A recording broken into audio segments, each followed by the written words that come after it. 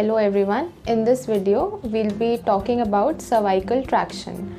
Now, what is traction? Traction is basically an act of drawing a force which is used to stretch the soft tissues and to separate the joint surfaces or bony fragments.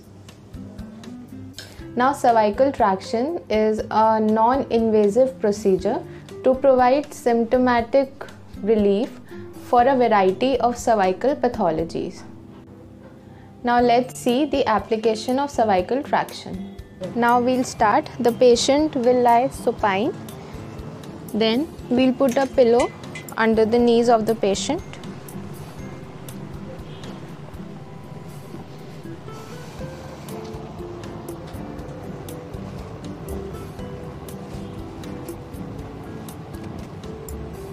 We'll attach the harness to the head and neck of the patient.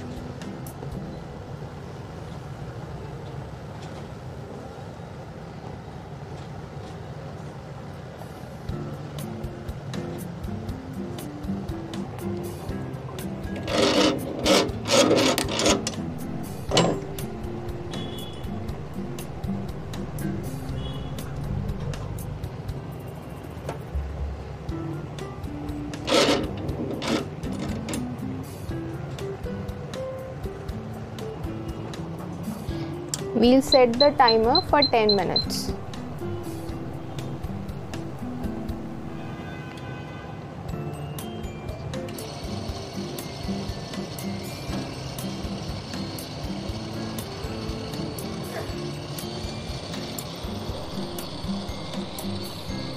Now the harness is attached to the machine that applies the traction force.